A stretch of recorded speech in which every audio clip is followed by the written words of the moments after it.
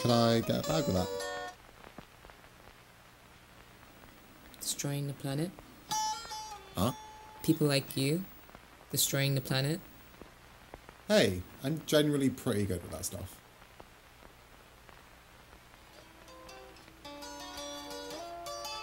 So, let's say when I get a coffee, Oh, flat white. not answering that. So, when I get a coffee, no matter how inconvenient it is, I carry it around all day so that I can rinse it and recycle when I get home. When I get a takeaway pizza, I'm the guy scraping all the cheese and all the sauce into the bin off the box so that I can recycle it. Everyone else just chucks it straight in the bin. And uh, usually I've got a tote bag when I go and buy like fresh produce. I use that and not their plastic bag. So yeah, but today I I uh, I,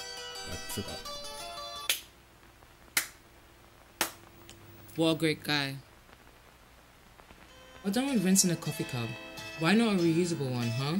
Or is that too much pre-planning for you?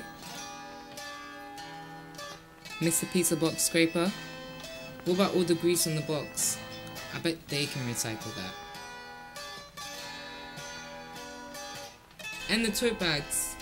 The tote bags. How many tote bags do you have? I bet it's not even one. Not even three. Is it? Is that it? No response. I bet you shoot on film too. That's great for the environment.